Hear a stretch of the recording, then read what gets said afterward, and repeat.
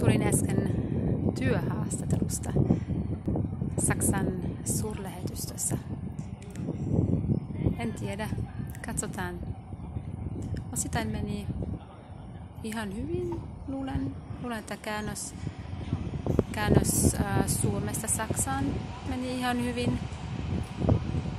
Tulkaushetki, no, olisin voinut olla vähän vapaampi. Olin aika jäykkä ehkä. Aihe oli vähän, vähän haastavaa. Se oli digitaalitaloudesta. No joo, mutta oli mukava tunnelmaa. Olen iloinen, että kävin siellä. Katsotaan, mitä siitä tulee. Jos se onnistuu, sitten minulla on hieno uusi työpaikka Helsingissä.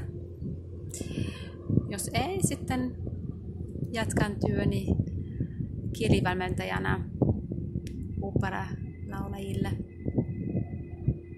Saan sitten taas korjata tekstiä niin kuin esimerkiksi Wagnerin Valkyriasta Winterstürme wichen dem Wonnemond, in mildem Lichte leuchtet der Lenz.